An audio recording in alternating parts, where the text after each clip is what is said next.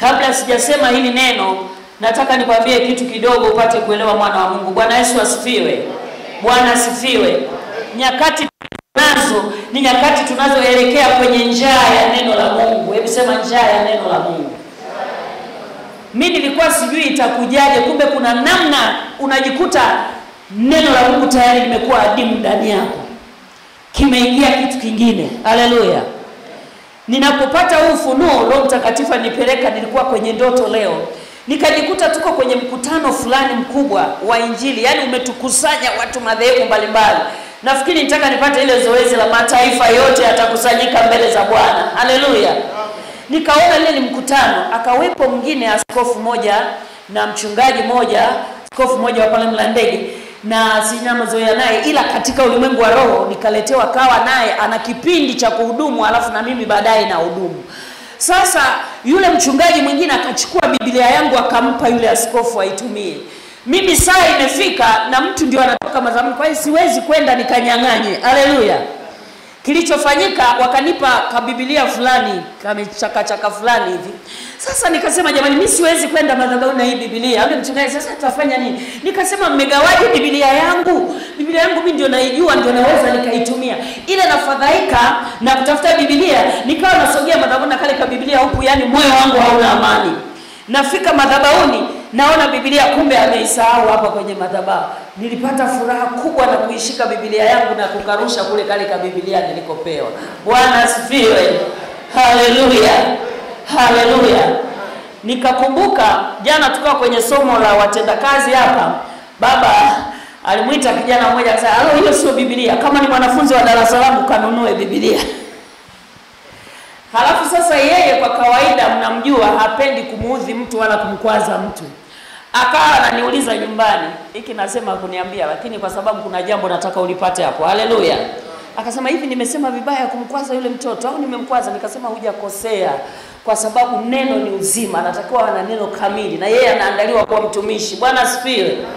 Kwa hiyo tukafurahi, lakini tafsiri ya ile ndoto nikaambiwa, sasa hivi kila Mkristo jitahidi kuwa na Biblia yako. Yaani hata kama kwenye familia msishee Biblia. Ndio maana linaonyesha tunagawana na yule askofu, alafu muda unafika na mimi sina amani wa, kusim, kusimama kuhubiri kwa sababu Biblia yangu ameazima. Mwambie mwenzako usimwazimishe mtu Biblia. Ukiona ana uhitaji, fanya juhudi kumnunulia, umpe iwe yake. Haleluya. Sasa ningesema hapo wangapi wamekuja na Biblia kwenye nyumba ya Bwana hatuaibishani. Haleluya. Ila we mwenyewe ujihoji, hivi kweli nyumbani kule Biblia si nimeiacha? Kuna kitu kilirushwa tukawa tunaona kule ta, nafikiri ni Tanga, ni Tanga sijui ni, ni, ni Mwanza. Kuna mchungaji mmoja akaanza kuwachomoa washirika mmoja mmoja, nenda kafuate. Anakwambia unayo nyumbani? Eh, mbona simu hujasahau? Mbona gauni hujasahau? Rudi kachukue ni majira ambayo adui anataka kupoteza neno la Mungu liwe adimu. Unanielewa ninachosema? Sasa hivi ukienda kwenye makusanyiko makubwa, hebu sema makusanyiko makubwa, yale mnayoyajuaga yale yanakusanya watu maelfu na maelfu. Kitakachosisitizwa pale ni kununua Biblia, ni kununua nini? Mnayajua wenyewe mnayonunuaga. Haleluya! Kitakachosisitizwa nunua nunua nunua kitambaa, kilemba, leso, maji, mafuta, ndio vitakavyosisitizwa kwenye hayo makusanyiko. Ni dalili za yule mpinga Kristo kupoteza neno la Mungu. aleluya Sio kitu nachotaka niongee, lakini nimeona nisisitize, kwa sababu baada ya kupata tafsiri kwenye ile ndoto nikajisikia hata mi mwenyewe wakati mwingine namwazimisha mtu Biblia, kumbe ni marufuku. Shika neno la uzima, tembea nalo, lala, uwe na Biblia yako. Vijana, mnanielewa?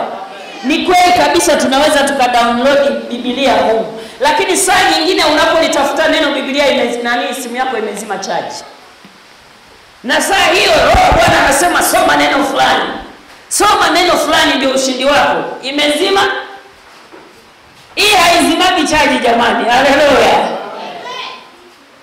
Masaa yote iko kamili kwa ajili yetu. Mwambie mwenzako, nunua bibilia usiazimishe mtu bibilia mwenzako nilitaka kuaibika kwenye mkutano yani kabisa naona sikielewi kile kibibilia nianzie wapi na ninatakiwa mkutano umejaa nihudumie neno. Bibilia yangu imeazima twende kwenye neno la bwana. Nataka tutafakari neno la bwana neno linalosema yesu mfalme mkuu ajaye ulimwenguni. Yesu mfalme mkuu ajaye ulimwenguni. Yesu mfalme mkuu ajaye ulimwenguni. Msemeshe mwenzako haya maneno yakae kwenye ufahamu wake. Sema yesu mfalme mkuu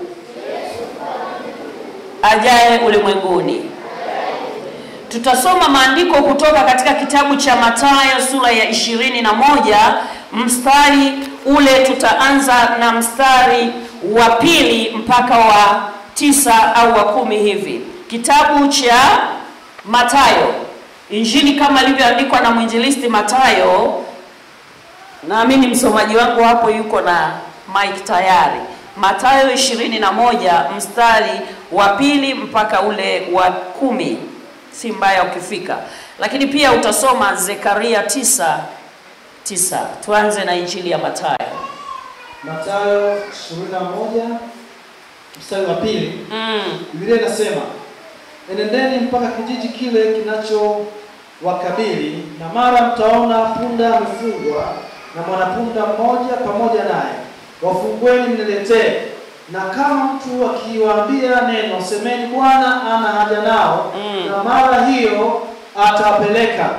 Haya yote yamekuwa ili timie neno lilonenwa na nabii akisema, Mwambieni binti Sayuni, tazama mfalme wako anakuja kwako, mpole, naye amepanda punda na mwanapunda mtoto wa punda.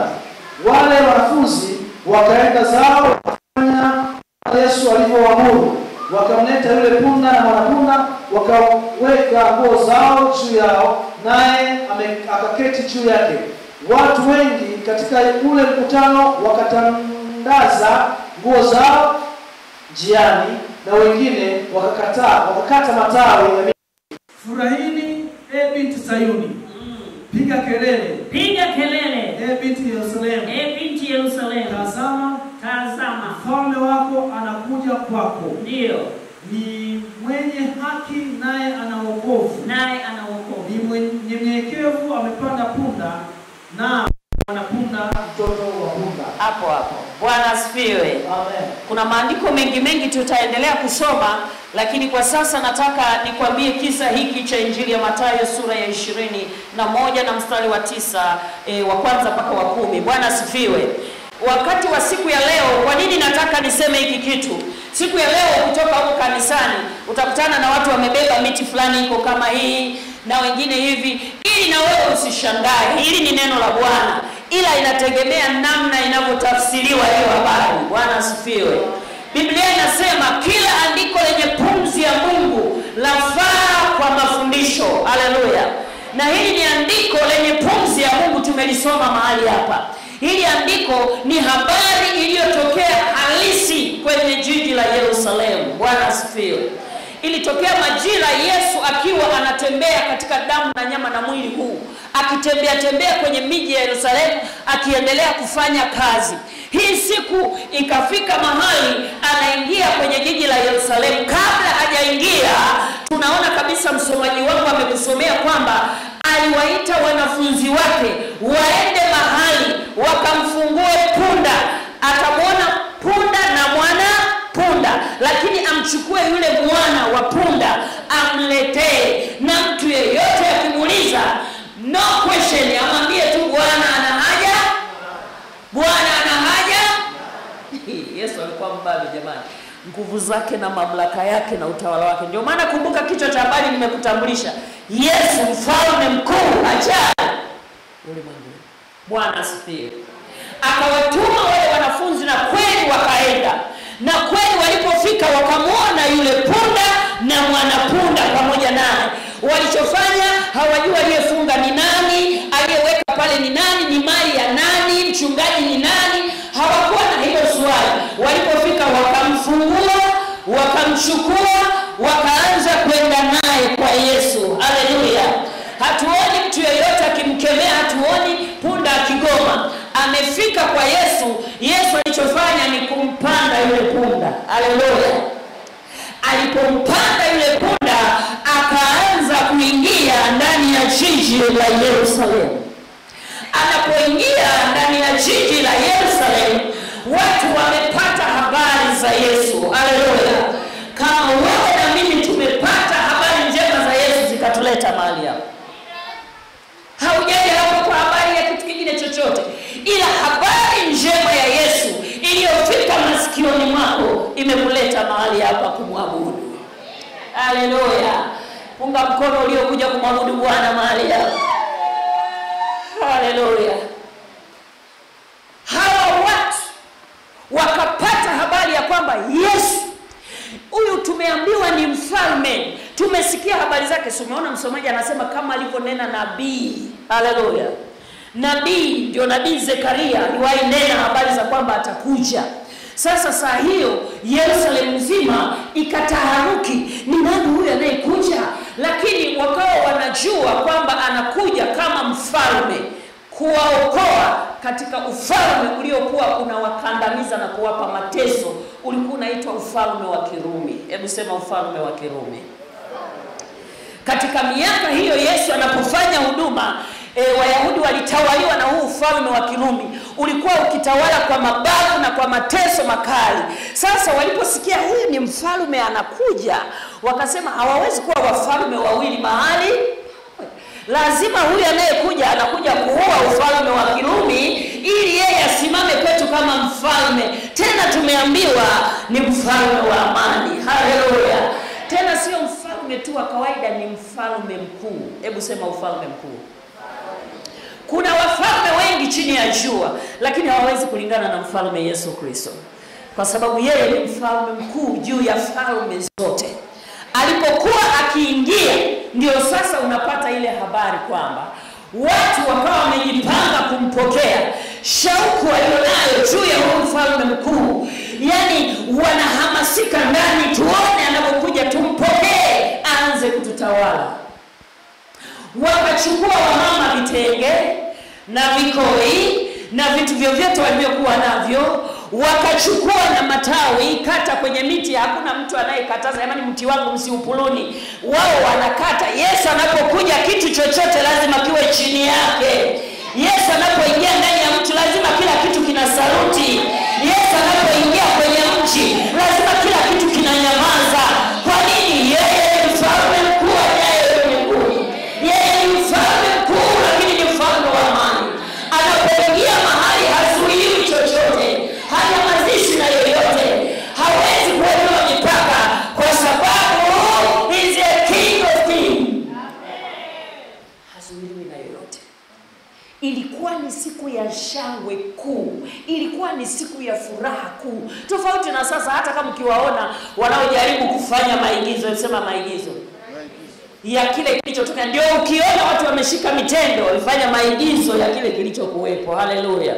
Kwa hiyo kisikufadhaishe. Kwa bahati mbaya, tafsiri inakuwa mbaya, watu yale maigizo wanachukua ni kweli. Ndio maana mtu naona ameweka mtende wake kwenye nyumba. Huu mtende unakaa mpaka mpaka mtende ujao mpaka, na akiamini kuna nguvu humo. Ni namna ya tafsiri. Haleluya!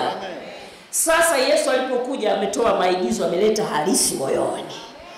Anachotaka ni namna moyo wa mtu unaweza kumfanya Yesu kama mfalme mkuu ndani yake. Haleluya! Aliingia kweli, wenzetu walimwona. Aliingia kwenye jiji la Yerusalemu akishangiliwa na wamama na vigelegele. Ukiona hapa tunaimba, tunaruka, tunashangilia, tunajua habari ya huyu mfalme mkuu. Ndio maana na wewe ukiingia hapa aisee, jiunge kumshangilia huyu mfalme. Sasa sisi hatushangilii mitende mpaka mitende, kila siku tunamshangilia mfalme mkuu, maana amekuja tayari, yuko ulimwenguni anatutawala. Amekuja tayari, ameshikilia maisha yetu, amekuja tayari, yupo. Kwa hiyo sasa, ukienda huko nje, ukiona ule mti mtu ameshika, wewe unajua mimi nimemshangilia mfalme mkuu moyoni mwangu. Siku zote sijabagua siku, siku zote namshangilia mfalme. Umenielewa mwana wa Jehova? Umeelewa maana ya sikukuu hii ya mitende? Umeelewa ya kwamba ni, ni, ni tangazo la mfalme mkuu yule ajaye ulimwenguni linatimia, kwa sababu kulikuwa hakuna ufalme unaoweza ukatikisa kama ufalme wa Kirumi. Ufalme wa Kirumi ulikuwa unatikisa falme zote, lakini kumbe yuko mfalme wa wafalme ambaye hatikisi na ufalme wowote. Kwenye Waebrania anasema ufalme wangu ni ufalme usiotetemeshwa. Haleluya! Na huo ufalme usiotetemeshwa uko ndani yako, uko ndani yangu, umeshakuja ulimwenguni, tayari upo. Ni namna ya kuapply huo ufalme. Bwana asifiwe, haleluya, haleluya. Hebu sema Yesu ni mfalme mkuu ajaye ulimwenguni, yuko ndani yangu. Sasa kuna mambo ya kujifunza kwenye hili jambo la huyu mfalme mkuu ajaye ulimwenguni, ili afanyike kweli mfalme ndani yako. Katika hii hii sikukuu ya mitende, watu wanaposhangilia, ni bora wangetafakari mambo yanayoeleza zaidi kiroho kuliko yale ya maigizo ya mwilini. Bwana asifiwe. Kuna mambo kama manne nataka tuyaangalie katika habari hii. Jambo la kwanza, jambo la kwanza, nimekwisha kuambia Yesu ni mfalme mkuu ajaye ulimwenguni. Jambo la kwanza la kutafakari kwenye maisha yako, namna gani unampa nafasi Yesu kama mfalme mkuu mtawala kwenye maisha yako? Namna gani au kwa jinsi gani unampa nafasi huyu Yesu mfalme mkuu aliyekuja ulimwenguni ayatawale maisha yako? Na mtu akitawala, si ndio anayeongoza? Jamani, tunaposema Rais Samia ni mtawala wa nchi, manake ndio kiongozi, yaani ni kama wote tunategemea akili yake, na msipokaa sawa, akienda kushoto wote mnaenda kushoto, kwa sababu yule ni mwanadamu tu. Haleluya! Ndio maana ni mbaya sana, hata kama kuna mtawala yuko hapa ambaye ume, ume, unatumika mahali ambapo unatakiwa kushauri kiongozi, ukiwa huna nguvu ya kumshauri huyu wa duniani, yoyote anatakiwa kushauriwa. Haleluya! Ila Mungu peke yake anajitosheleza. Ndio maana Yesu ni mfalme mkuu, amekuja kutawala. Sasa namna gani au kwa jinsi gani umempa nafasi huyu Yesu na maeneo gani unampa nafasi? Eneo la kwanza ni moyo wako. Haleluya! Hebu sema moyo wangu, moyo wangu namruhusu Yesu atawale kama mfalme mkuu ndani yangu. Eneo la moyo ukiliruhusu. Asubuhi hapa mtumishi wa Mungu kwenye maombi alikuwa anasema juu ya moyo wenye ubora mbele za Bwana. Tumeomba sana Mungu tuumbie moyo ulio na ubora. Kwa nini? Kwa sababu moyo usipokuwa na ubora wa viwango vya Mungu, Yesu hawezi kukutawala, Yesu hawezi kukuongoza, Yesu hawezi kuwa mfalme. Utakuwa unamtaja mdomoni, lakini uhalisia ndani yako hajawa mfalme mkuu. Haleluya! Wangapi wanatamani kutawaliwa na moyo wao na huyu mfalme mkuu? Nataka nikwambie, moyo wako ukitawaliwa na huyu mfalme mkuu, moyo wako ukiruhusu autawale, hakuna kitu kitakacho kigumu duniani kwako, kwa sababu umetawaliwa na mfalme wa wa Kwa nini tunaona mambo magumu, vitu vigumu? Kuna namna kwenye kamoyo hajahit sawasawa huyu mfalme mkuu. Wale wenzetu kwa shauku waliokuwa nayo, kwa mateso waliokuwa nayo ni ishara. Ndio maana walikuwa wanatoa vitenge, wanatandika. Na unajua walikuwa wanatandika, hapiti Yesu, ila inapita nini? Inapita nini? Yesu yuko juu ya punda, lakini mtu yuko radhi kitenge chake punda akanyage, maadamu Yesu yuko juu ya hiyo punda. Haleluya! Maadamu Yesu wana uhakika huyo aliyekaa juu ya hii punda ni Yesu, wanatandika vitu vyote, wanatoa nguo, wanakata na matawi. Hakuna kitu kinachozuiliwa moyoni mwako. Kitu gani kinazuiliwa ili Yesu asitawale? Haleluya! Kitu unachotakiwa ukishatoa moyo wako Yesu atawale. Kitu kingine unatakiwa kutoa muda wako. Hebu sema muda. Muda wako ni muhimu sana kuachilia muda kwa ajili ya huyu mfalme mkuu kumtumikia. Hata mahali hapa, tie moyo mwenzako, mwambie hongera kwa kutoa muda huu. Mwambie, mtie moyo, asije akafikiri amekuja kuja tu. Mpe hongera, kwa sababu hakika yake umemtii mfalme hujamtii mtu yoyote. Wengine umekuja hapo, uliambiwa na rafiki yako, bwana, karibu kule kanisani, karibu tukamwabudu Mungu. Alikwambia kuna kuja kuchukua hela huko? Alikwambia kuna kuchukua maparachichi huko? Alikwambia kuna mgao wa nini? Alikwambia yuko mfalme mkuu anayetawala maisha yetu, yuko mfalme mkuu anayeopareti ndani yetu. Njoo na wewe upate kusikia habari zake, njoo na wewe upate kupata hizo habari ziwe ndani yako za huyu mfalme mkuu aliyekuja tayari ulimwenguni. Haleluya! Hebu sema, muda wangu ni wa Bwana, kwa sababu yeye ni mfalme mkuu, anatawala maisha yangu. Mungu atusaidie wapendwa, katika mambo mengi tunayoyafanya, hakikisha una nafasi ya kuashiria muda wako kwa ajili ya mfalme mkuu unatenga muda wako kwa ajili ya mfalme mkuu. Hatuna chetu. Haleluya! Mwalimu wa Sunday school akasema, kitu gani kinatuhamasisha ambacho ni motive yetu ya kufanya mapenzi ya Mungu? Bwana asifiwe. Akasema ni wajibu, lakini kwa kweli na mimi ninaongeza hapo, kwa sababu hatuna maisha pasipo Mungu, kwa lazima tu tuyafanye mapenzi ya nani? Haleluya! Nataka nikwambie hauna maisha pasipo Mungu. Yeye ni mfalme mkuu. Akisema uishi unaishi, akisema uondoke unaondoka, akisema unalala utalala, kwa sababu tu yeye ni mfalme mkuu, hana mpinzani. aleluya ko lazima tukubali kutenga muda wetu kwa ajili ya mfalme mkuu. Lazima tukubali kujitoa kwa ajili ya mfalme mkuu. Haleluya! Mali zako, hatuna chetu. Mali, hebu sema mali zangu hapo hapo kwenye muda kwanza. Hawa watu nikijaribu kuona walikoenda kumlaki Yesu mpaka akaja mpaka waende hekaluni, kulikuwa na umbali mrefu sana. Kwa hiyo kulikuwa na namna watu waliacha shughuli zao, wengine wamekuja na watoto wao, kama wale hapo walipobeba na watoto wao, wengine walikuja na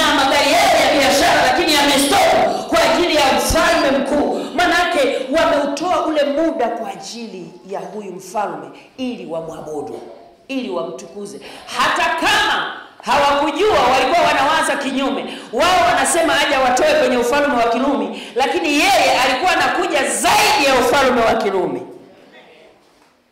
Ndio maana akasema mimi sijaja kugombana na kumtoa mtu yoyote kwenye madaraka yake, ila ufalme wangu mimi ni ufalme wa mbinguni, ni ufalme usioonekana. Na ndio maana hata katika hukumu ya makesi yale ya kifo chake aliposema unamjibu hivyo mfalme, unafanya nini mfalme? Akasema "Ah, mimi ufalme wangu ni ufalme wa mbinguni, hapa sina ufalme. Haleluya! kwao natawala rohoni. Tangu Yesu alipokuja, ule ufalme wake unatutawala kwenye ulimwengu wa roho. Haleluya! Kwenye ulimwengu wa mwili tuna marahisi wanatuongoza, lakini ni kweli ninayo rahisi kwa sababu ya taratibu za nchi, ila ndani yangu nina mfalme wa wafalme, Bwana wa mabwana. Huyo ndiye asubuhi nikilala nikiamka na mtazama, ambaye hawezi kunifukuza mpaka mimi nitoke kwenye ufalme wake. Lakini ufalme wa dunia hii, akilala akiamka vibaya, vyote vibaya, hauna kazi. Ukimkorofisha dakika tu, hauna kazi. Lakini huyu mfalme, hata kama nikatenda dhambi, anasema mtu mwenye haki huanguka mara saba na kuinuka. Nani anamwinua? Huyu mfalme, kwa sababu hataki upotelee kwenye dhambi. Sema Bwana Yesu, naomba nisaidie, nikupe nafasi kwenye moyo wangu, kwenye muda wangu wa kukutumikia. Huyu mfalme mkuu amekuja, ana kila kitu, lakini anataka ushirika na wewe. Ndio maana wewe unaweza ukajiona una vitu. Anasema mnaposema mna vitu, kumbe hamna. Mnaposema ni matajiri, kumbe ni ma kwa sababu yeye anajitosheleza. Haleluya! Ni afadhali ukangamana na huyo anayejitosheleza, hizo mali zisikudanganye, hivyo vitu visikufarakanishe na mfalme mkuu. Je, ni mashamba ulio nayo? Je, ni nyumba ulizo nazo? Je, ni watoto ulio nao, kiasi kwamba wamekamata moyo wako hata unafarakana na mfalme? Mungu atusaidie asubuhi ya leo, turudi kutafakari kwa upya, huyu ni mfalme wa namna gani ambaye hakuweza kuzuiliwa na chochote. Maadamu tu imesemeka anaingia kwenye mji, watu wanatoa vitu vyao bila kuhamasishwa, kwa sababu wamejua nguvu iliyomo ndani yake. Ukijua nguvu iliyomo ndani ya Mungu, hautazuilia chochote kwenye maisha yako kwa ajili ya Mungu. Maadamu amesema na moyo wako, maadamu ameingia moyoni mwako, anakuongoza. Hautazuiliwa muda, hautazuiliwa e, e, e, yani kweli sisi tuna mambo mengi. Nasikia jamani, mwenzenu leo sitakuja, nimeenda nimeenda nimeenda nimeenda, wiki la kwanza nimeenda nimeenda, sawa,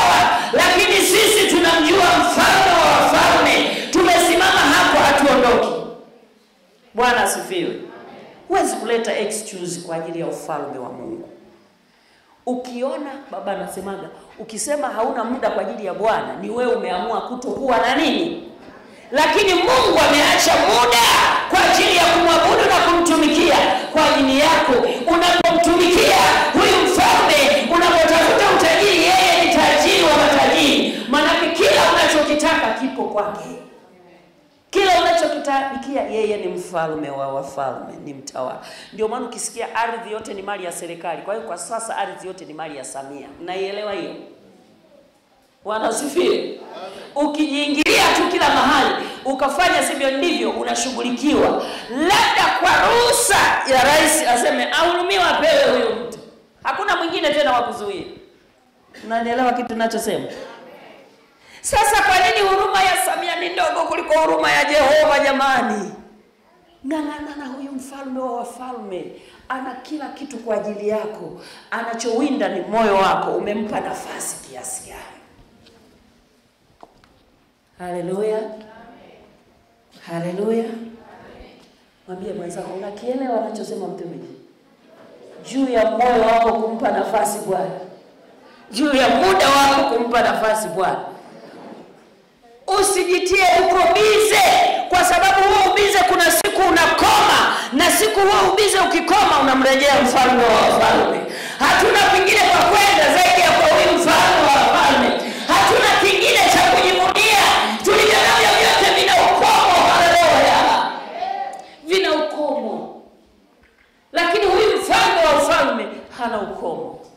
Wenzetu walikuwa kama wenda wazimu, pita punda kanyaga, kwa sababu mfalme uliyembeba ni mkuu. Unaweza ukaachilia muda wako kwa ajili ya Bwana. Mara ngapi tunatoa sababu kwa ajili ya ibada? Mara ngapi? Muda mwingi tunao, masaa kumi na mbili na kesho kumi na mbili lakini angalau saa moja uweponi mwa Bwana mtu anaona tabu. Saa moja uweponi mwa Bwana, sababu nyingi. Nataka nikwambie, kuna wakati zitakoma hizo sababu na zinapokoma uso unaokutana nao wa wa. Haleluya!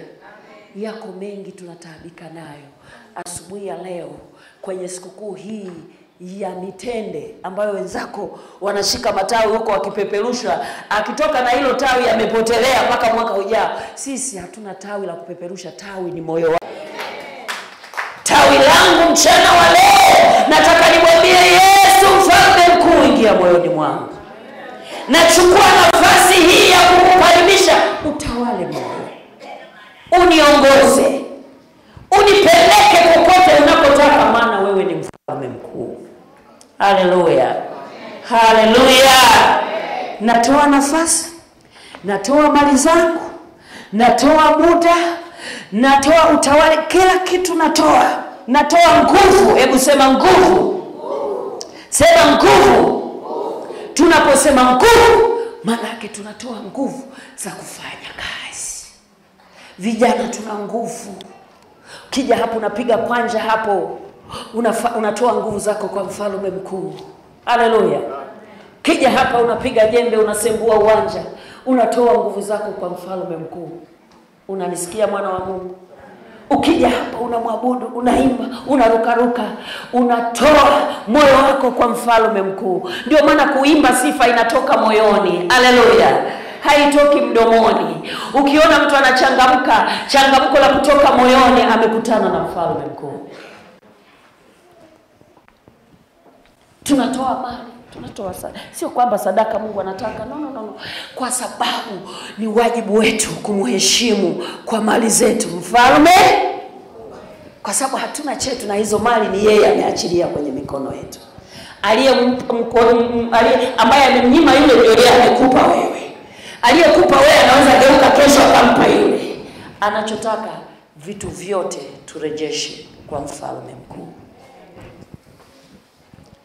Jambo hili la kumkaribisha mfalme mkuu moyoni mwako sio tu ili umtumikie.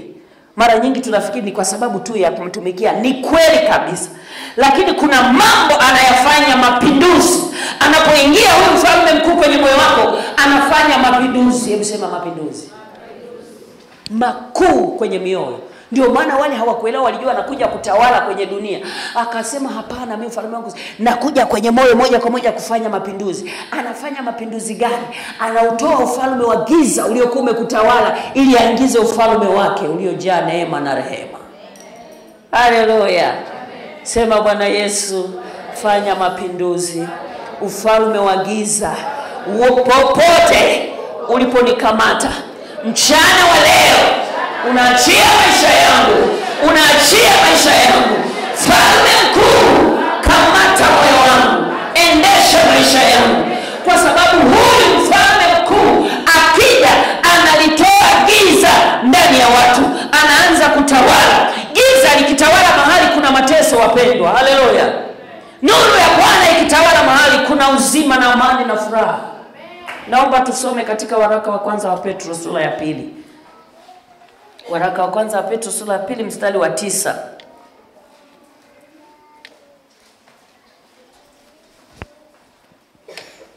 Waraka wa kwanza wa Petro sura ya pili mstari wa tisa. Petro waraka wa, pili wa Petro Waraka wa kwanza wa kwanza mm. sura ya pili mstari wa tisa. mstari wa tisa Biblia inasema Mm. bali ninyi ni mzao mteule, Bali ninyi ni mzao mteule, Ukuhani wa kifalme, ukuhani wa kifalme, taifa taifa takatifu, watu wa miliki ya Mungu, mpate kuzitangaza fadhili zake, yeye aliyewa yeye aliyewaita. Mwambie wenzako, umeitwa mpendwa, hujajijia hapa. Kila mtu nakuwa mahali kwa wito maalum, kwa kusudi maalum. Haleluya! Umeitwa ufanye nini?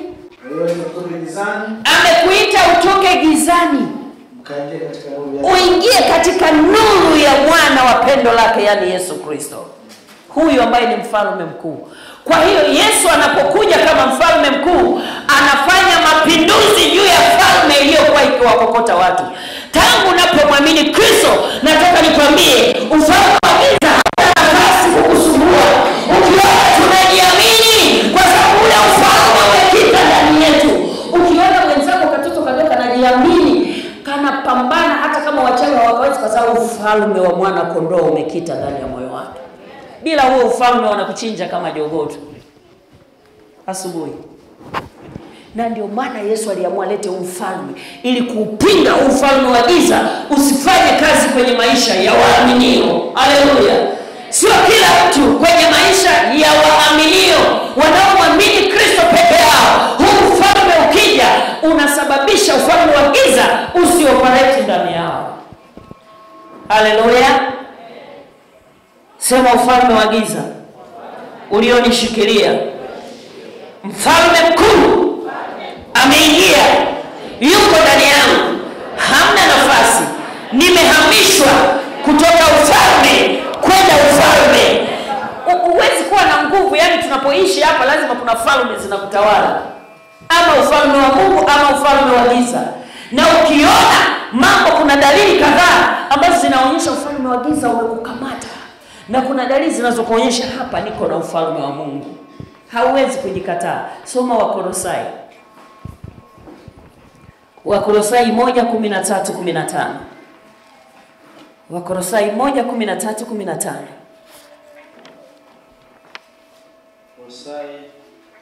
moja kumi na tatu hadi kumi na nne ishia tu pale.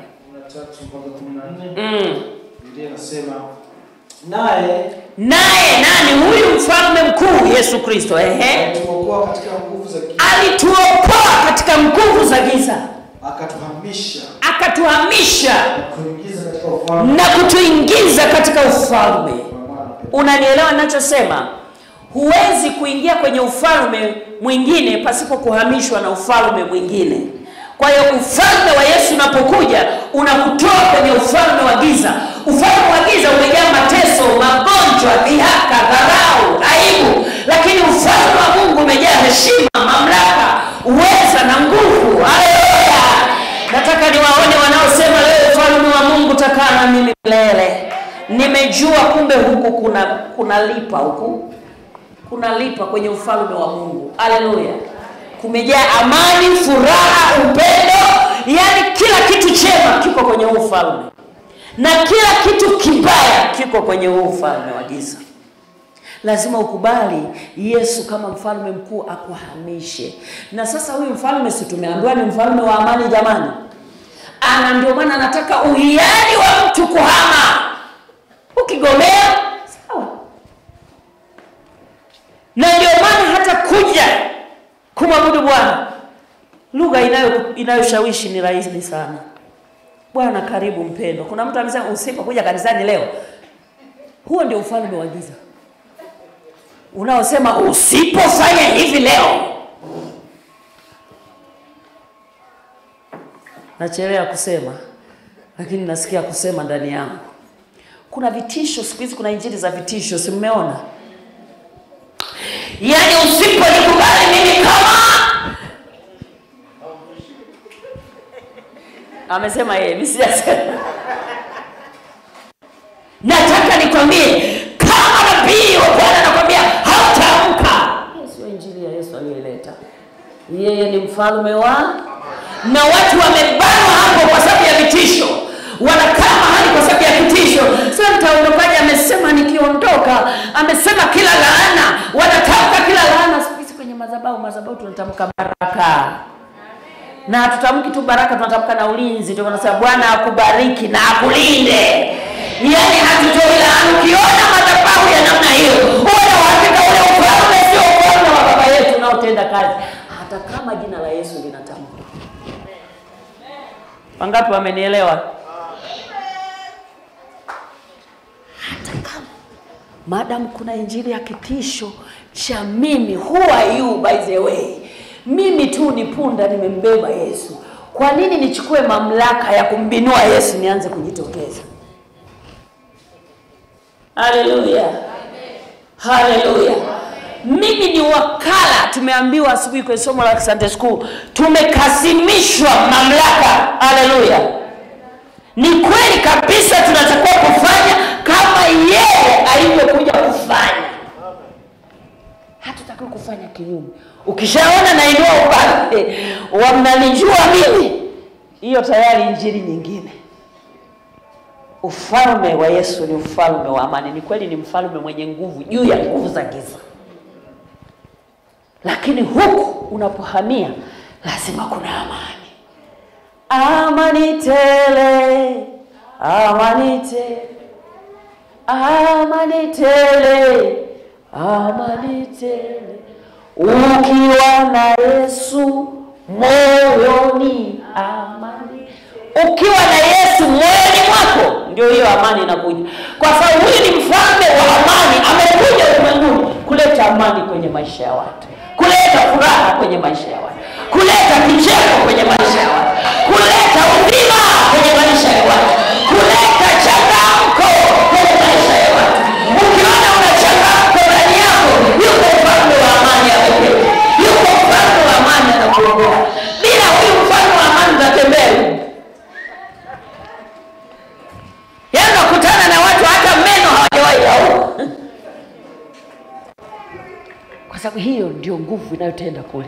Hasira chuki maudhi ziko kwenye ufalme wa giza. Tumeokolewa wapendwa haleluya! Tunamilikiwa na ufalme wa jehova ufalme uliobeba amani yako. Ufalme uliobeba uzima wako.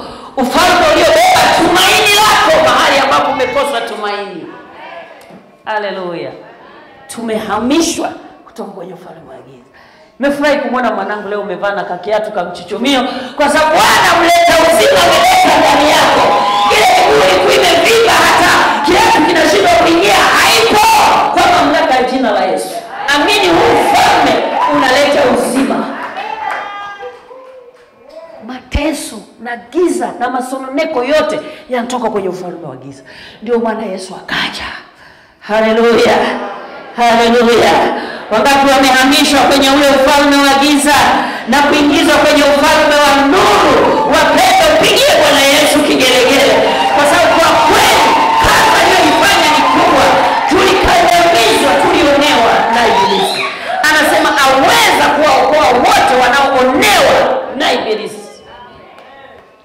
Hawezi kuokoa wanaoonewa na Ibilisi, maana Ibilisi ni ufalme nao Si mnajua alileta kiburi kwa Mungu ili kutengeneza ufalme wake, na Mungu hayuko radhi kuachilia uzao wake uteketezwe na Ibilisi. Ndio maana akamtoa Yesu, ndio maana akaja kama mfalme, na ndio maana tunaendelea kuhabarishana hizi habari njema.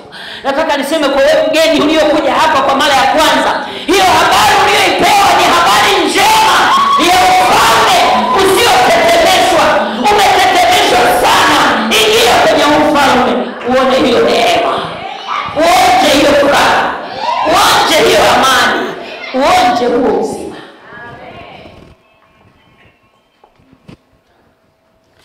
Jambo la pili, kwenye mistari hiyo kuhamishwa kwenye ufalme wa giza ni mingi, lakini kwa sababu ya muda twende jambo la pili. Tunapokumbuka sikukuu hii ya mitende, tunashangilia Yesu aliingia Yerusalemu kwa shangwe.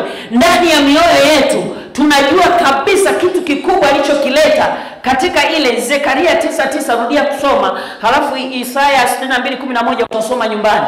Zekaria 9:9, Isaya 62:11 utasoma nyumbani. Sasa tusudie tena pale Zekaria 9:9. Mm -hmm. Anasema Furahini sana. Mtu akikuhabarisha habari za Yesu, inua furaha yako, kwa sababu zimeleta furaha kwenye maisha ya wengi. Tume Paulo anasema wa kwanza wao ni mimi, na mimi nasema asubuhi ya leo, kama si habari za Yesu kuwa ndani yangu, sina furaha nyingine ya kitu chochote, sina. Dunia hii imeharibika, ina vituko vya kila namna, lakini tu ndani ya Yesu kuna furaha isiyozuiliwa na chochote. Anasema furahi Furahi- sana Eh, binti Sayuni. Sasa hata baba hapo usijiondoe, na wewe ni binti Sayuni, kwa sababu Biblia imetuhakikishia sisi sote ni mabibi harusi. Tunamsubiri bwana harusi Yesu Kristo. Naona mtumishi Elisha anataka kubisha. Hapana, wewe ni bibi harusi, hata kama juzi juzi tulikuwa na bibi harusi. Wewe ni bibi harusi original, ambaye bwana harusi tunamsubiri anakuja. Anasema furahi Hizi habari za ufalme wa Mungu zinaleta furaha. Haleluya! Nimekwambia, ukiona zinakosesha furaha ndani yako, huyo ni Mungu mwingine, ni Mungu mgeni amejipitisha kwa jina la Yesu. Na wako wengi sasa wanaishi kwa kitisho, yaani yuko ndani ya ufalme wa Baba, lakini anaishi kwa kutetemeka. Amesema, amesema nisipo nisipofanya wewe, Bwana akuokoe leo, utoke kwenye huo ufalme wa kutetemeshwa ingia kwenye ufalme wa pendo la baba yako. Ehe, Piga kelele piga kelele binti Yerusalemu, tazama tazama mfalme wako anakuja kwako. mfalme wako anakuja kwako. Yesu alipokuja anaingia kwa moyo wa kila mtu, moyo wa kila mtu. Hapa tunakusanyika kama wana wa ufalme, tukiondoka hapa, kila mmoja anaondoka kama mwana wa mfalme mmoja mmoja, mwana wa ufalme wa mbinguni usiotetemeshwa. Haleluya! Anasema anakuja yaani nikijua Yesu anakuja kwangu, amekuja kwangu, sina kingine cha kunitikisa chini ya jua. Ehe, Nasema ni mwenye haki ni mwenye haki naye ana wokovu. hilo ndio nilitaka, naye ana wokovu. Hebu sema naye ana wokovu, sema naye ana wokovu. Wokovu ni nini? Tumeshajua ufalme ni utawala, ni mamlaka. Sasa anasema sio tu mamlaka, lakini anao wokovu.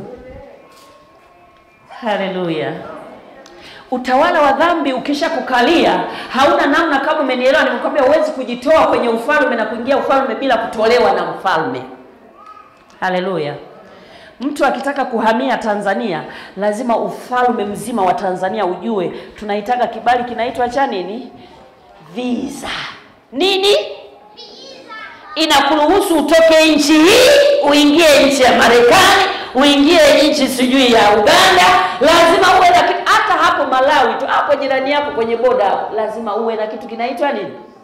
Ingawa kuna panyarodi, mimi sisemi habari za panyarodi wanaochochora, nasema kuingia kiuhalali, kutoka ufalme kuingia, lazima uwe na kitu kinaitwa visa. Haleluya! ile visa kwetu sisi ya kutoka kwenye ufalme wa giza na kuingia kwenye ufalme wa Mungu inaitwa wokovu. Inaitwa. Kila ana kibali cha ya kuingia kwenye ufalme wa Mungu. Sijui bado naona hamna furaha ile ambayo Roho Mtakatifu anaionyesha kwa kwa ajili ya kazi ya wokovu aliyoileta huyu mfalme mkuu aliniletea uokovu. Anasema furahi ya binti Sayuni, falme wako anakuja naye ana uokovu uokovu maana yake nini? Ni kusamehewa dhambi, ni kuachiliwa mizigo ya dhambi, ni kukombolewa kutoka utumwa wa dhambi na kuingizwa kwenye utumwa wa haki ya Bwana. Haleluya! Bwana asifiwe. Haleluya! Sema Bwana Yesu, asante kwa wokovu. Asante kwa wokovu. Kwa njia hiyo umenipa uwezo wa kutoka kwenye ufalme wa giza na kuingia kwenye ufalme wako. Asante kwa wokovu. Unajua, kuna wakati tunatakiwa tuombe maombi ya kushukuru tu kwa wokovu. Seme tu Yesu, asante kwa wokovu, kwa sababu bila wokovu wa Yesu Kristo hatuna namna ya kutoka kwenye ufalme wa giza hauwezi kujitoa. Ndio maana mtu ama uokoke ama ukae kwenye ufalme wa giza. Huwezi kusema mimi na. Siku hizi kuna watu wanasema sijaokoka. Kwani wewe umeokoka? Sijaokoka. Kwa nini? Mbona stendi zambi Mi niko vizuri tu, mi niko hapana. Huwezi kukaa vizuri mahali nje hewani, lazima uhamishwe, uingizwe. Haleluya, Bwana asifiwe. Asubuhi ya leo, kama kuna dhambi yoyote, hebu sema dhambi yoyote inayonizinga kwa upesi, yaani inakutinga ghafla, ulikuwa umesimama alafu imesha kutinga. Kama kuna dhambi hiyo inayokutinga kwa wepesi, asubuhi ya leo sema, Bwana, nahitaji wokovu katika hili pia. Haleluya, sema Bwana, nahitaji wokovu katika hili unalijua mwenyewe usilitaje, halafu kiondoka hapo utajua kama huyu mfalme ameshalimaliza na hilo au bado. Haleluya, Bwana asifiwe. Kuna mambo mengi ambayo watu tumeokoka, aidha umeokoka hujaokoka, lakini kuna kitu kinakuzinga kwa wepesi. Hata waliookoka tusidanganyane, kuna mahali unakuta kabisa pana kuzinga kwa wepesi, lisingeandikwa hili neno. Nimekwambia jambo la pili ni kuomba wokovu wa Yesu Kristo utawale maisha yako yote. Unapoadhimisha sikukuu hii, omba sana ombi hili kwamba wokovu aliouleta utawale sehemu zote. Paulo anasema kwa kuwa tumezungukwa na wingu kubwa la mashahidi namna hii. Ni mstari gani ule anasema? Ni Waebrania eh? Waebrania kumi na mbili moja. Unaweza ukasoma pale mwalimu, Waebrania kumi na mbili moja. Jambo la pili nimekwambia kuomba wokovu wa Kristo Yesu utawale maisha yako yote yote. Mm. Mm. inasema basi na sisi pia kwa kuwa tunazungukwa na Basi na sisi pia. Unajua Paulo, wangapi wanajua kwamba Paulo alikuwa ni mtumishi wa Mungu? Maana tujihakikishe, tuna uhakika kwamba Paulo sio Paulo Mboya, Paulo huyu wa Biblia tunajua kwamba alikuwa mtumishi wa Mungu. Tunyoshe mikono, au wengine hatumjui. Kama humjui, nitakwambia Paulo alikuwa ni mtume wa Mungu mkuu sana, aliyefanya kazi. Hizi nyaraka unazoziona nyingi zimeandikwa na Paulo na Paulo alikuwa muasi kabisa, ni mtu asiyemjua Mungu, lakini alipokutana na uokovu akageuka na kuifanya kazi ya Mungu kwa ujasiri. Hebu sema kwa ujasiri. Lakini unamwona hapa anajijumulisha na yeye, anasema basi kwa kuwa sisi tumezungukwa na wingu kubwa la mashahidi namna hii, tufanyeje? Kando kila mzigo mzito Tuweke kando kila mzigo mzito na dhambi ile ituzingayo kwa wepesi. Asubuhi ya leo natamani kila mmoja tafakari ndani yako, dhambi gani inayokuzinga kwa wepesi? Yesu ameleta wokovu hata kwa hiyo. Paulo alikuwa mtumishi wa Mungu, lakini akasema aa, kuna vizambi vinatuzinga kwa haraka haraka, vihasila, viuchochezi, viumbeambea. Huwezi kusema kitu kimenyoka mpaka uongeze na kachumvi. Dhambi inakuzinga upesi, kiukweli huitaki, lakini ghafla inakukamata. Mahali pengine Paulo anasema kila ninalotaka kulifanya silifanyi, lile nisilotaka kulifanya ndilo nafanya nini? Ni hila ya adui kuhakikisha unarudi kwenye ule ufalme wa giza. Unafikiri mtu ukiokoka anafurahi, anasema nee, hongera bwana, umeenda pale pale, anaanzisha vita kwamba ina maana amenitoka, amenitoroka. Maana ulikuwa mtendakazi katika ufalme wa giza, umetoroka, lazima awe na hasira na wewe, hata kama kawa na hasira gani. Hatuogopi kwa sababu tunaye mfalme wa wafalme atatushindia, atatutetea, atatupigania, atatuokoa katika hila zote za adui anazotutafuta. Lakini weka kando kila mzigo wa dhambi. Tikise mwenzako, mwambie mwenzangu, kama kuna kajambo weka kando. Kuna wokovu leo.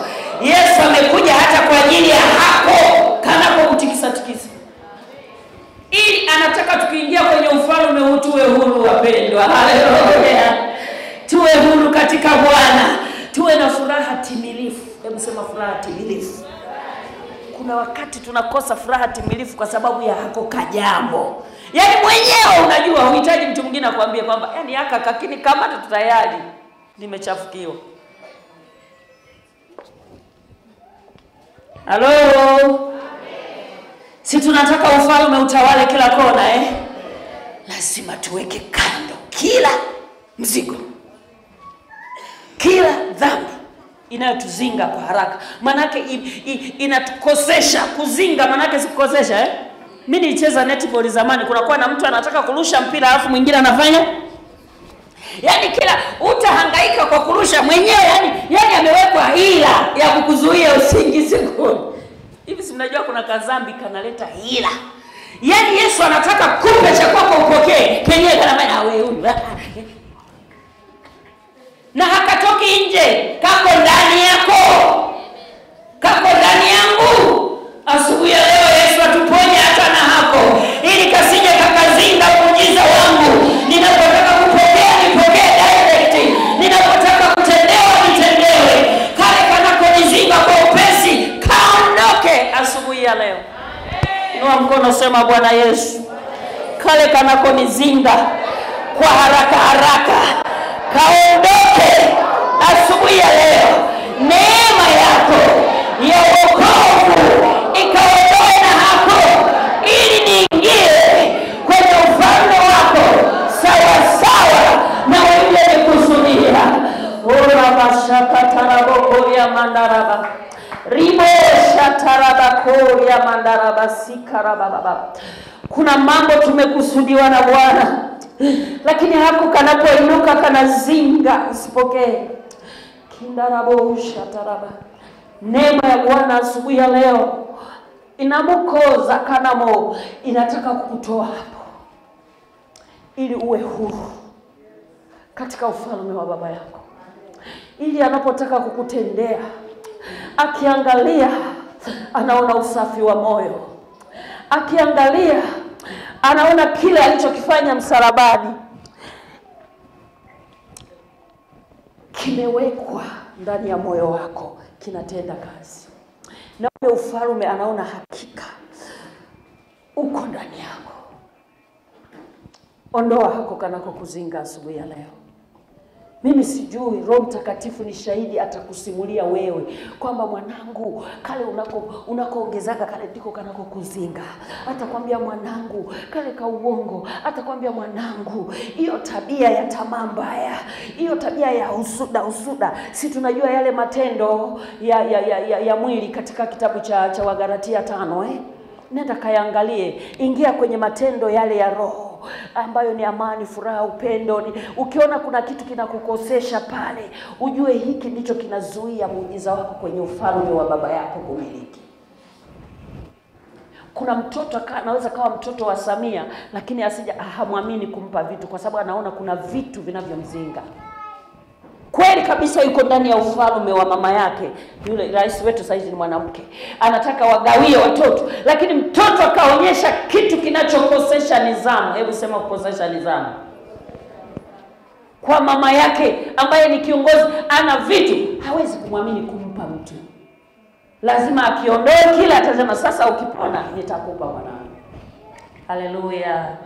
Kuna miujiza tunaitafuta kwa Bwana, tutazunguka sana, tutaenda huko na huko, tutatapeliwa, lakini kumbe kuna kakitu kakitabia Bwana anataka kaondoke. Kakiondoka, lango lako liko wazi. Haleluya, la kupokea. Hebu sema Yesu, asante kwa wokovu na kuomba wokovu wako umiliki maisha yangu. Haleluya, Bwana sifiwe. Jambo la tatu ni nafikiri sivi nitamalizia haya. Jambo la tatu, tunapoendelea kushangilia habari hii ya wokovu, tujue Yesu amekuja kuleta amani. Yesu amekuja kuleta amani. Ndio maana katika injili tuliyoisoma unamkuta anasema anaingia amepanda punda badala ya kupanda mafarasi, badala ya kupanda magari ya moto. Ndio ndio magari ya wafalme wenye nguvu walikuwa anaingia nayo hayo, lakini yeye ni mfalme mkuu kabisa, ila anaingia amepanda tena mwana. Maana hata mkubwa mkubwa asija akapiga mateke watu kamwana Haleluya! Yesu amekuja kuleta amani. Kitu gani kinakukosesha amani asubuhi ya leo? Yeye ni mfalme wa amani, yuko tayari kuachilia amani moyoni mwako. Kama kuna chochote kinakukosesha amani, hicho kimetokana na giza.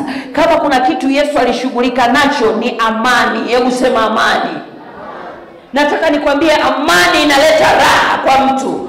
Ukitembea una amani, ndio maana akasema tafuta kuwa na amani na watu wote.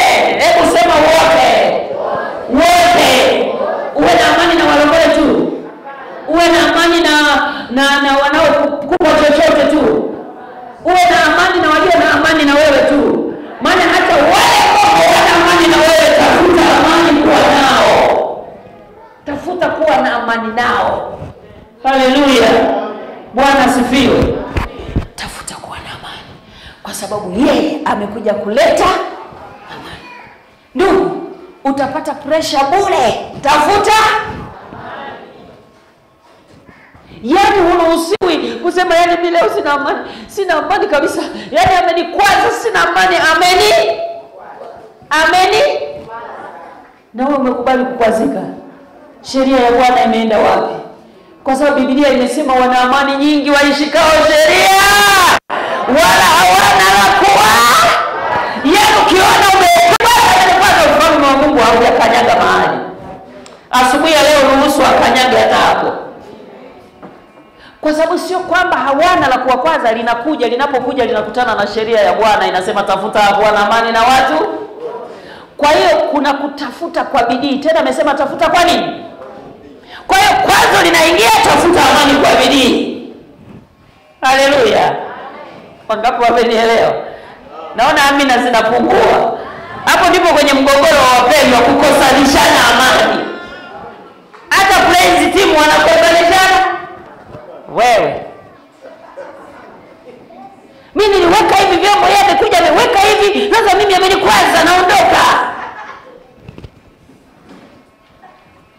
Kubadilisha tu, mwambie Bwana, mi natafuta amani. Uliweka hivi, mwenzako ni mwenzako nataka kuwa na nini, kwa sababu ndio utakatifu unakamilika. Haleluya, Bwana asifiwe.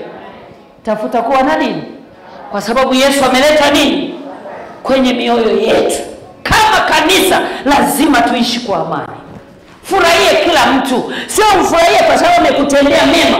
Wakati mwingine amekutendea mabaya. Na bibilia imesema kujitahidi sana kulipa wema katika yaani yesu alijua kila kitu wewe utakuwa unaleta theolojia ya kwako lakini hii ya yesu inasema tutafute kuwa na amani. Haleluya. Pungie mkono mwenzako mwambie amani ya bwana iwe nawe. Amani ya bwana iwe nawe. Amani ya bwana iwe. Maana mfalme mkuu amekuja kuleta amani katikati yetu. Haleluya. Amekuja kuleta amani. Amekuja kuleta amani.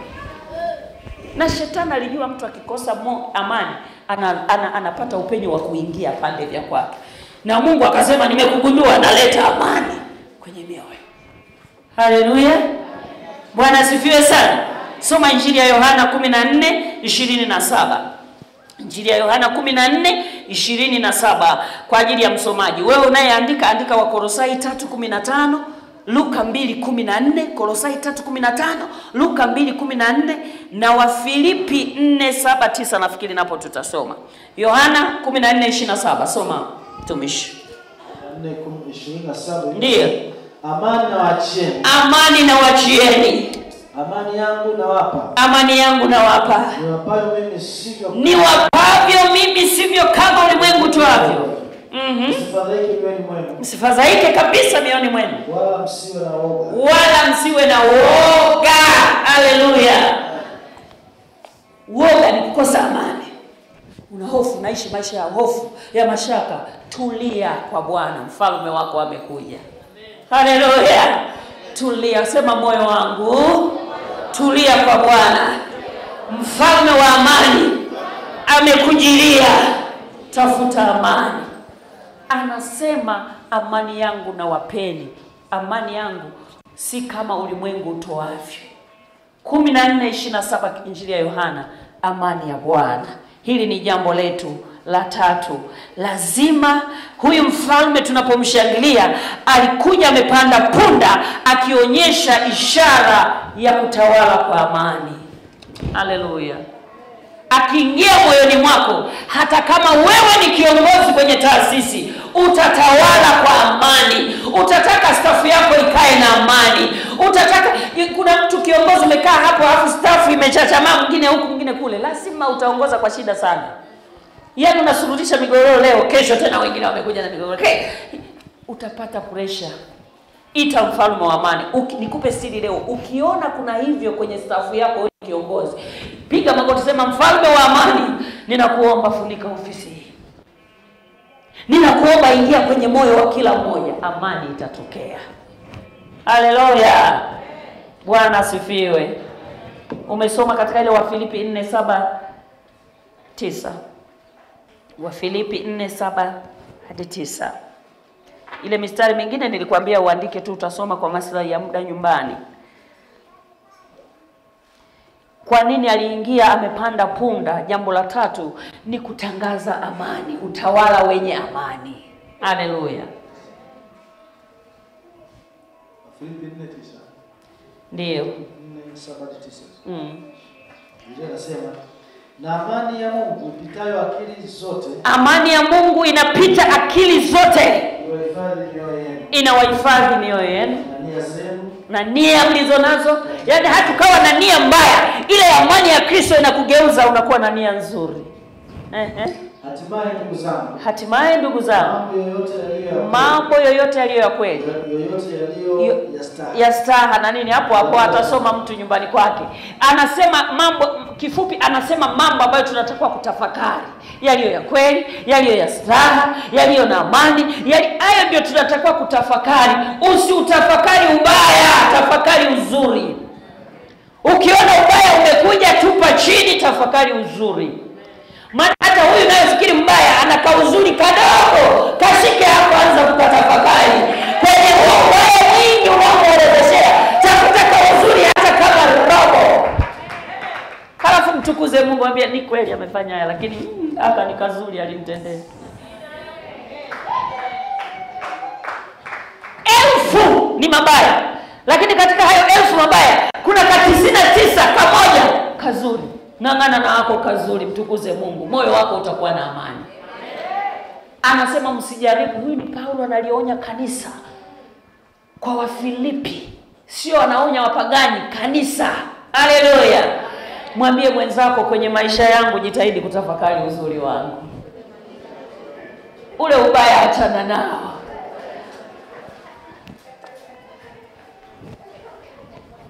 Haleluya! Bado tunapendana watumishi wa bwana. Soma na ile injili ya luka mbili kumi na nne. Tukamalizie kitu cha mwisho. Kumi na nne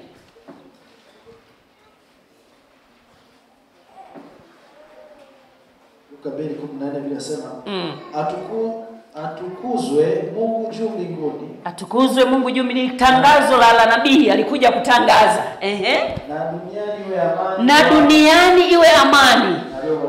Kwa watu alio nilitaka hapo kwa watu alio kuridhia manake nini ni kupendelea. Haleluya yuko hapa mtu amependelewa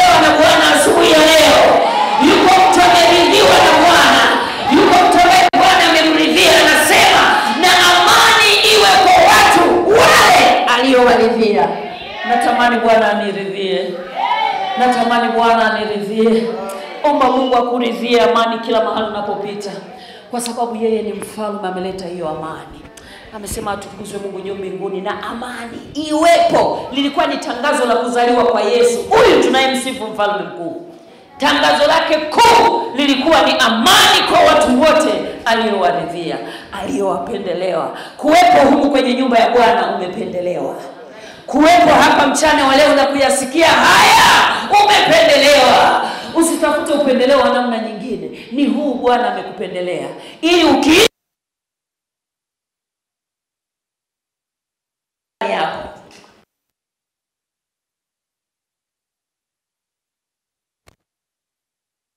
Sababu kuna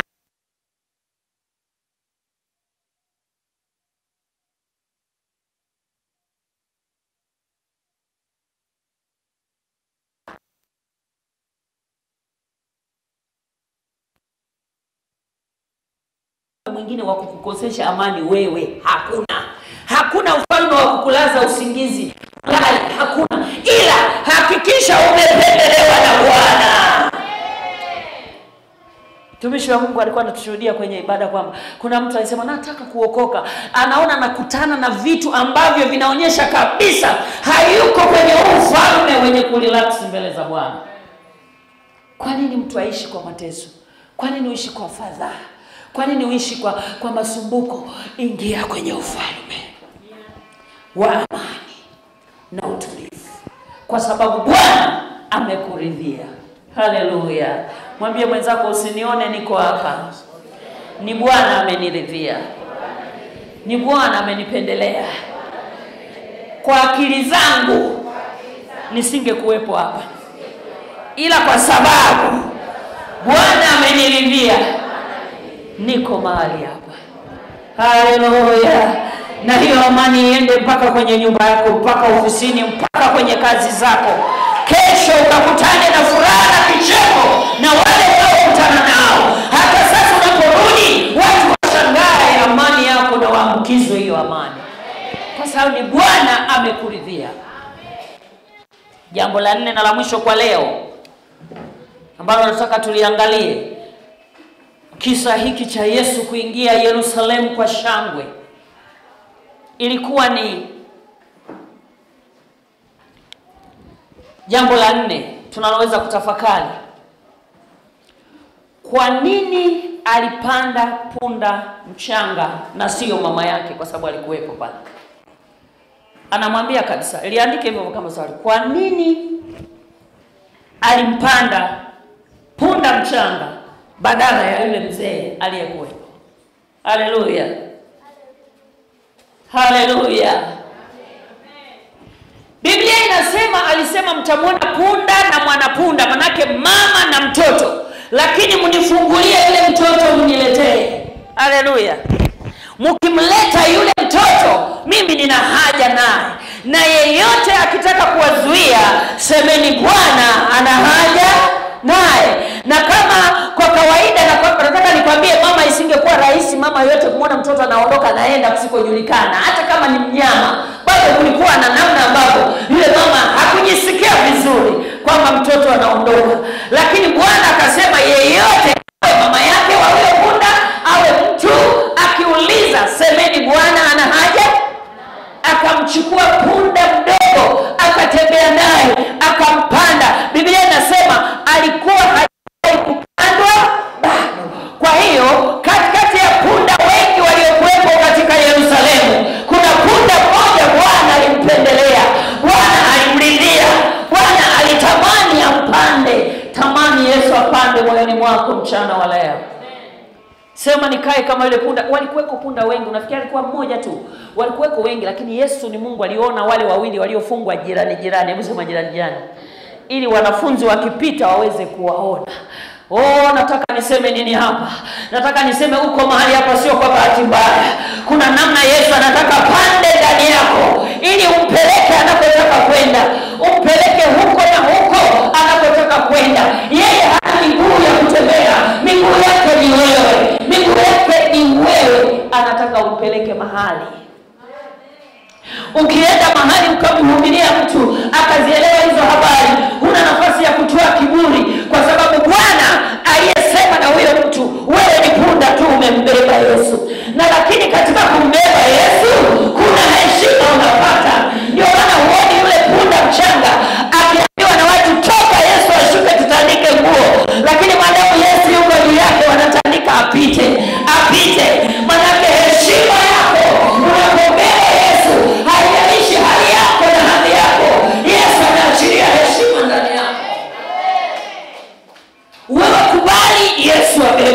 mgongo wako utembee. Nenda kule gubilo nenda kila mahali. Mi ni mwalimu lakini hapa nimeleta habari za yesu nimefanyika punda kwa dakika hii. Yesu atakuheshimisha katika maisha yako. Hakuna wa kukushusha hakuna wa kukudharau maadamu yesu yuko juu yako. Punda kwa kawaida angekuwa peke yake anapita patu patu jiulize alipomshusha yesu kesho yake apite mle kwenye kanga patu patu wangemwacha anashambuliwa dakika asingemaliza. Ndio maana maisha ya wokovu yana thamani sana ukimwembeba yesu kwenye wokovu kuna heshima yake bwana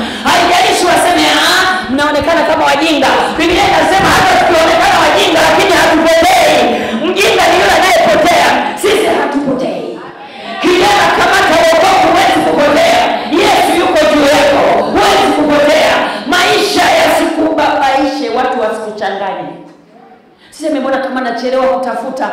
Mbona kama nachelewa kufanya hiki? Mshushe yesu uone. Dunia itakuchalaza. Dunia itakuweka sawa. Ukitaka amani na furaha kwenye maisha ya mbebe yesu popote usimshushe mbebe po. Tembea naye. Kazini kwa barabarani kanisani nyumbani. Hakikisha unambeba yesu moyoni mwako umechaguliwa kama punda yule alivyochaguliwa. Lakini Biblia imesema alikuwa ni punda mdogo. Hebu sema alikuwa ni punda mdogo. Kwa nini? Yesu anapotaka kumwita mtu afanye kazi yake. Hebu sema afanye kazi yake. Kwenye kuingiza kwenye ufalme anawaingiza wote walio tayari kuingia kwenye ufalme wake. Lakini saa ya utumishi inapofika anamchagua yoyote kwa saa yake kwa mapenzi yake hakuna cha kusema huyu mbona mchanga? Mbona? Alichotuonya tusimwekee mtu mikono nini? Haraka. Lakini juu ya utumishi yesu anajua huyu mtu hata kama ni mchanga anaweza kafanya uinjilisti kuliko mzee aliye kazi kwenye nji kwa nini? Bwana ana haja? Bwana ana haja? Kwenye huo wito na utumishi. Haijalishi inawezekana ni uchanga wa umri yaani una umri mdogo. Mchungaji alikuwa anatuambia kwenye darasa la watendakazi anasema kule china vichungaji unavyoona kabisa hata mchungaji vidada vidogo vidogo vina makanisa makubwa kwa sababu vimembeba yesu anawaheshimisha kwenye mji. Anawapa ujumbe vinapeleka huko. Binti usijidharau. Yesu amekuona hivyo ulivyo. Mbebe yesu nenda akafanye kazi yake. Fungua kinywa chako. Maana unasikia ndani yako, useme sasa nitaanzaje? Umri wenyewe huu, sasa watu wenyewe hawa nitaongeaje? Hivyo hivyo, madamu Yesu yuko juu yako, fungua kinywa, sema, atakujaza maneno ya hekima. Mungu anatumia mtu yeyote aliye tayari. Alipoona ule utayari wa yule punda, anapovutwa anatolewa kwa mama yake na yeye anaenda, Yesu akampanda. Huo wakati ambao unatakiwa kufanya kazi ya Mungu, lakini unajiangalia umri, unajiangalia elimu, unajiangalia hadhi. Usijiangalie hayo yote, Yesu anayajua, lakini amekuchagua wewe. Kwa nini wewe unasema na watu wawili watatu wanne na wanakuelewa, ukisema jamani, hizi habari za Yesu ni za ufalme, wanakuelewa. Umembeba Yesu, kubali kwenda, usiogope na usizuiliwe. Simama kwa miguu yako, tukamwombe Bwana.